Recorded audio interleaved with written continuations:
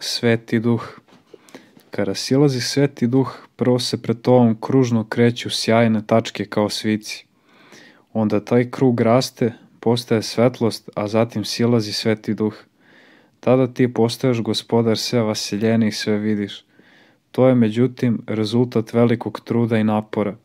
Tada i cijela legija da se nađe proti tebe, možeš u tili čas da je pobediš. Svetitelji se na, ne nalaze na zemlji, svetost je samo na nebesima. Ako neko ovde ima sveti život, treba da kažemo da živi poput svetitelja, a ne da je svetitelj. Jer niko ovde na zemlji nije osiguran proti greha. Ako ovde na zemlji živiš takvim životom koji možeš da privučeš ljubav kako Božju, tako i čovečiju, onda od toga nema ništa veće. Neki kažu da im se javio svetitelj i odmah nestao.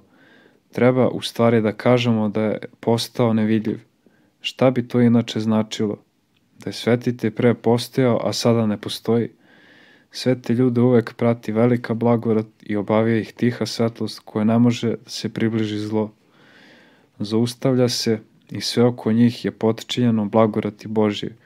I zlo ima svoj nevidljivi krug koji ne može da odoli stalnom pritisku dobra i njemu dobru sve se potčinjava.